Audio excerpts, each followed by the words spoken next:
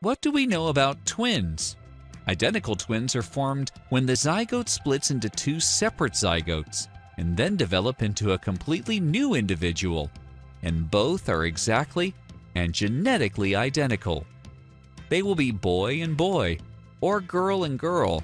We can never have a boy girl set of identical twins because they must have the same set of genes XX for girls and XY for boys.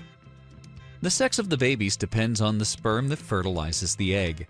The egg has one X chromosome besides the other 22 chromosomes, and if the sperm that fertilizes the egg carries an X chromosome, then the embryo will have the 23rd pair of chromosomes as XX and develop into a female.